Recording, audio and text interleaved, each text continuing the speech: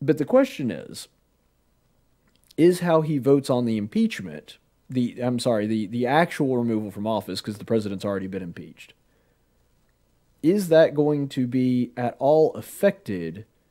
Uh, is that at all going to affect his chances of reelection? Well, a new WPA intelligence poll of about 500 likely Alabama voters says that that is indeed the case. So I'll go ahead and bring up this graphic.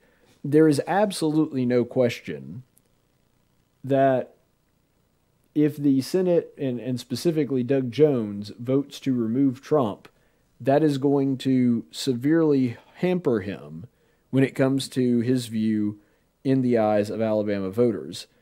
But um, this is just overall. In other words, this is just what Alabama voters would hope that the Senate would vote for. This is how it vote how it relates to Doug Jones specifically. So if Jones votes to remove, they are 14% more likely to reelect him. So 14% of people are going to be happy about that. 37% are going to be less likely to reelect him. 45% say there is no difference. 4% say they aren't sure yet.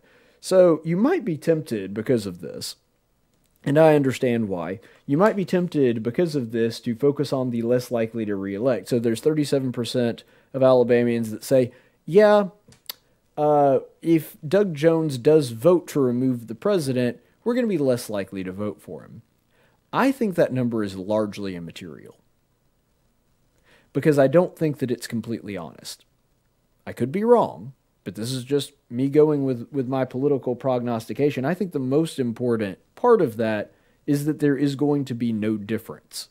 And remember that that was the one that got the vast majority. 45% of Alabamians said, yep, whether he votes for Trump or against Trump, it's not going to change my vote for him. In other words, at least 45% of Alabamians already have their mind made up when it comes to Senator Jones. And I would fall into that category. It wouldn't matter if uh, Senator Jones voted uh, from here on like a conservative. Now, that's not going to happen.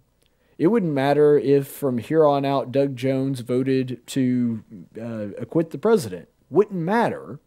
I, like many Alabamians, already have my mind made up on Doug Jones because I've seen how he has functioned in office, and so there's no chance that I'm going to vote for him. And see, that to me is the most interesting part of this poll and the one that is most likely to show what Doug Jones is going to do on this. I do not believe this is going to affect his vote at all.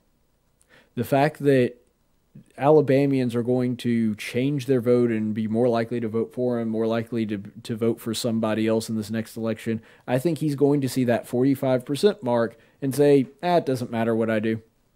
It really doesn't whether I vote in favor of acquitting the president or not, doesn't matter because my chances of getting reelected are, are pretty much nothing right now.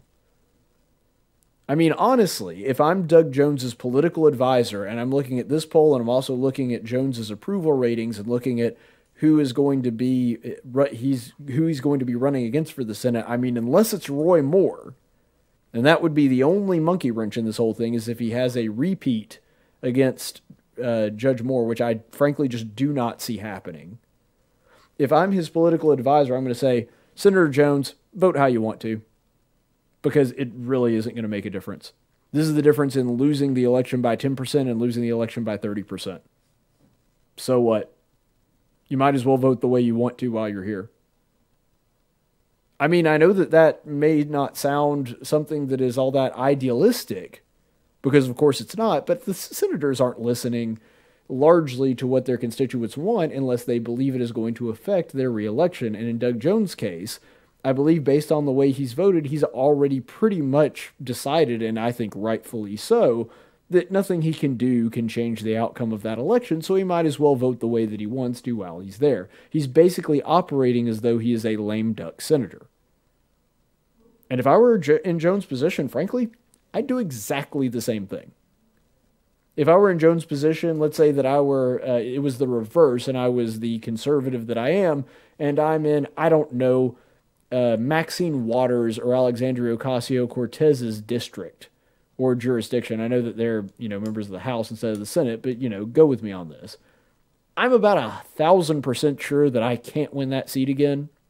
And frankly, like Jones, I think I'm just sitting around there trying to figure out how the heck I got into this position. But if I'm there, I'm voting the way I want to while I'm there because there's no chance I'm going to get reelected anyway. So I think that's what's actually going to happen with Senator Doug Jones. I think he's already made that calculation. He already understands, look, this is a one off. I might as well be able to do what I want and get my agenda through, which is a radical left agenda for Doug Jones while I'm here.